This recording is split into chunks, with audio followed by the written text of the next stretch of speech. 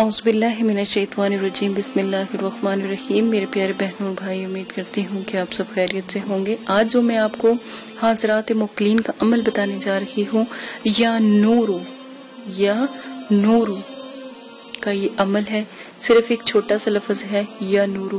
چاند کی چودہ تاریخ کو یعنی کہ جیسے اسلامک مہینوں کے حساب سے چاند کی چودہ تاریخ کو جب چاند نظر آتا ہے مطلب کہ مکمل نظر آنے لگ جائے، بالکل اپنی آب و تاب سے چمکے، ٹھیک ہے؟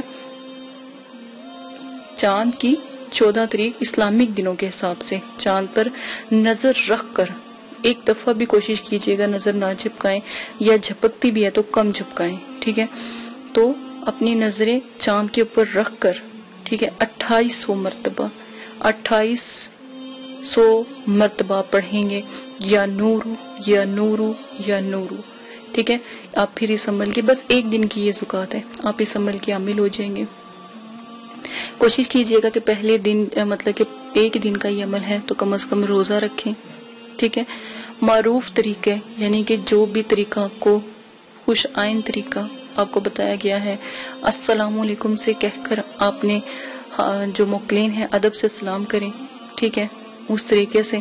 پھر جو بچہ، خاتون یا مرد جو بھی آپ نے بٹھایا، کوشش کریں نابالغ بچے کے اوپر جو سات سے چودہ سال کا ہے، وہ بٹھایا ہے، تو اسی سے اسی کے اوپر آپ حاضری کرنا سیکھیں۔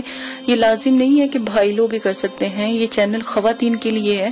میں نے آپ کو پہلے بھی کہا تھا، خواتین اس سے فیضیاب ہو سکتی ہیں، خواتین بھی یہ عمل کر سکتی ہیں۔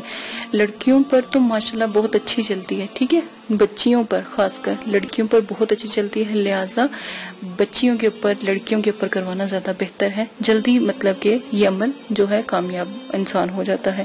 بہت پیارا عمل ہے۔ اس کو ضرور آپ عمل کو کیجیے گا۔ یا نورو اچھا ایک اور بات، اس کا ہم طریقہ جو ہے، ہم اس کو شیشے پر، انڈے پر جو ہے حاضراتی سیاہی لگا کر بھی کر سکتے ہیں۔ ٹھیک ہے؟ حاضراتی آنکھیں بند کروا کے تب بھی کر سکتے ہیں۔ ناخون کے اوپر حاضراتی سیاہی لگا کر اس کے اوپر بھی کر سکتے ہیں۔ ٹھیک ہے، جس طرح آپ کو مناسب لگے اس کے اوپر آپ کر سکتے ہیں۔ پانی کے اندر بھی آپ کر سکتے ہو، ٹھیک ہے۔ پانی کے اندر بھی دیکھنے کے لیے کہہ سکتے ہیں۔ اجازت دیں، اپنا خیال رکھیے گا، دعاؤں میں یاد رکھیے گا۔ اللہ پاک آپ کو کرنے کی توفیق عطا فرمائے۔ اجازت دیں، اللہ حافظ۔